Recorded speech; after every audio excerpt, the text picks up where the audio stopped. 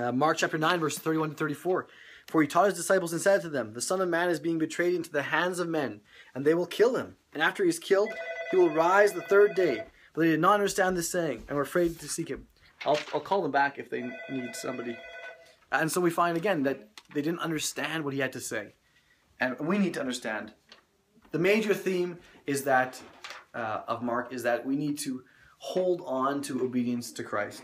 Um, we can't hold back, especially when it's hard. Now, the application really is to follow Jesus no matter what.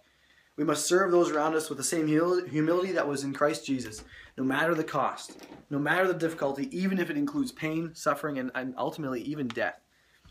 Our cry should be let everything, all we are, and then anything else that we have be given in service to Christ, in obedience to Him.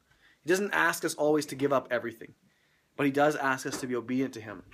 And, uh, and that's what it is. Thanks, guys.